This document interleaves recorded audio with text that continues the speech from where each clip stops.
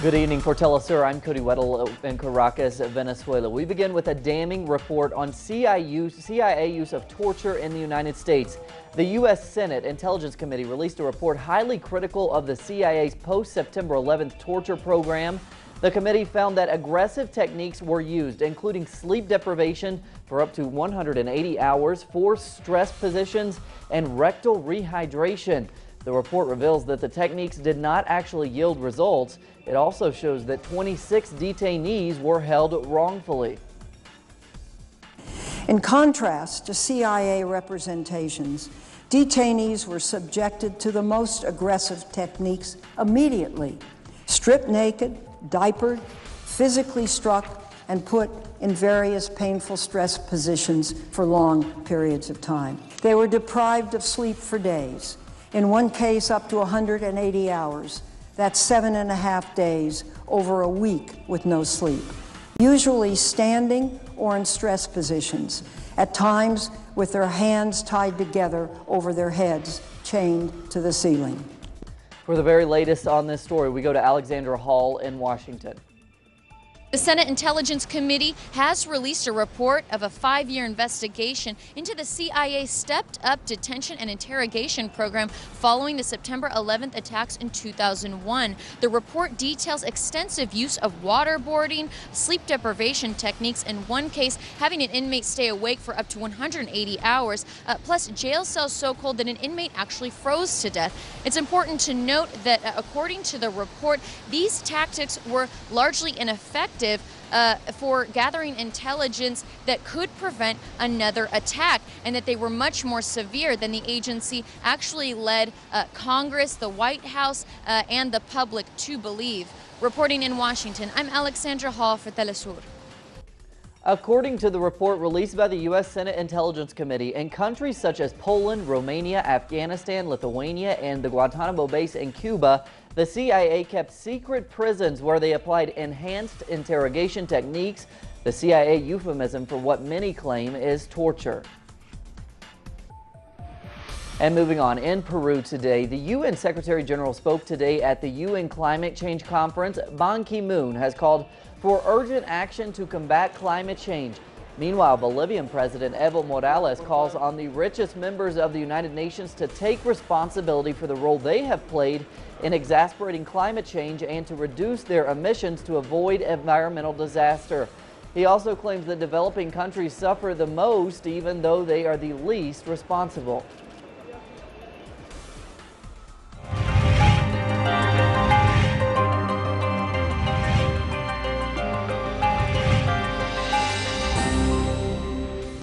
Colombia. Colombian President Juan Manuel Santos says that the disarmament and resources from drug trafficking will remain top issues during peace, peace talks with the FARC to end five decades of war. He also suggests that both sides renewing negotiations later this month after the FARC released a general. Santos says questions remain over what will happen to the group's arms arsenal in the event of peace. Now, in October, the FARC ruled out surrendering its weapons as part of a peace deal. A guerrilla group has arms, and the crime of having arms is not a political crime. So how can you make peace when this crime is not a crime? This is an example that illustrates the types of problems and discussions that we need to achieve peace. And moving on, the UN Refugee Agency says that Western governments have heeded a call to take in more Syrian refugees from neighboring countries. It is, it is estimated that in all, more than 100,000 places will be offered in the coming months the organization wants to resettle 130,000 of the 3.2 million Syrians who are refugees. Today, 28 countries express their solidarity with the Syrian refugees, but also with the, the five neighboring countries that are hosting them Lebanon, Jordan, Turkey, Iraq, and Egypt, offering uh, what we estimate will be more than 100,000 opportunities for resettlement and humanitarian admission.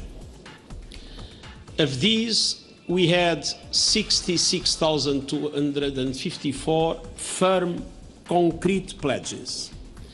And staying with the Syrian refugee crisis in the midst of the civil war, we turn to Nashwan Abdullah for a report on the, on the latest.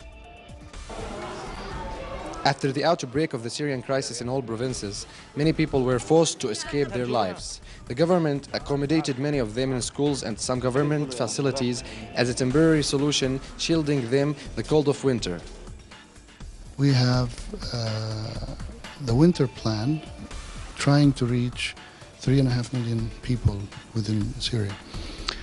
The United Nations, uh, no doubt, has uh, is facing uh, financial difficulties in uh, trying to come up with funds needed to assist uh, these people.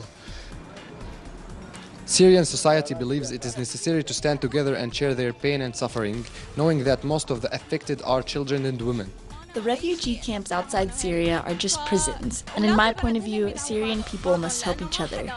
A three years and a half within the Syrian crisis has revealed its effects on the Syrian street, and the first victim who pays the price is the Syrian citizen.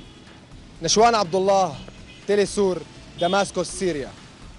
In Sierra Leone, the daily fight against Ebola is a struggle for the people. In Tombo, a rural fishing town in the west, nine people were buried just yesterday, like one woman who had been sick but refused to go to the hospital. She had been dead for three days in a house with 22 people. Oscar Pelde has the report. The mother did not want to go to the hospital, and her son is dead inside the house. They still have not to come to collect the bodies. The woman, Fatumata Bangura, died three days ago. The family does not enter the house. They sleep in that store. So now we, we, we don't know, the mosquitoes are so plenty. So I think we can expect some kind of malaria. As for me, I have some signs and symptoms of malaria. They have been in quarantine since the husband of Fatumata died 15 days ago after he carried a relative on his back who was sick with Ebola and who had been rejected by the health center of Tombo. In that same house, four others have also died. The remaining 19 are still alive and do not protest. However, the neighbors do not understand how the rural West can continue to abandon them. Since the day before yesterday, when this woman died, we tried for call the burial team till now they not come. Even when the community identify the sickly people, they don't come. The burial team finally arrived in the afternoon. Struck yesterday. You see, because of their payments. You see, they are stuck yesterday, that's why they late come today. The nine bodies collected by the command of the Red Cross have been buried in unmarked graves by neighbors and relatives in a field outside of Tombo, even though the majority of them were probably not infected by Ebola. The tenth body had not been collected. There is a baby under this blanket. It was born yesterday and died of a fever today in the house. Like his twin sister, they came into the world without assistance. This woman is the mother. Her baby did not die of Ebola, but of medical neglect. Suffering from the same neglect is his neighbor, whose 11-year-old daughter is vomiting. Like 90% of Tombo, she does not know how to read or write and has given her daughter two doses of adult anti-malarial medication. The government has been distributing this anti-malarial medication house by house. I told them that she was 11 years old, and they told me, give her two, give her two. We are fighting to survive and adapt, but something is not working. From Tombo, Oscar Pelde for Telesur. Thanks to Oscar. And we end in sporting news today. The Australian and Indian cricket teams have played paid tribute to their fallen teammate Phillip Hughes. At the start of the test match, the teams and spectators applauded for 63 seconds in recognition of Hughes' final unbeaten score. They then watched a video narrated by cricket legend Richie Benaud. Hughes died after being knocked unconscious by a ball. His father's best mate. There it is, a hundred on debut. Son, brother, fighter, friend, inspiration. Phillip Hughes, forever. Rest in peace, son. More on those stories and others at our website, telesurtv.net slash English for Telesur English. I'm Cody Weddle.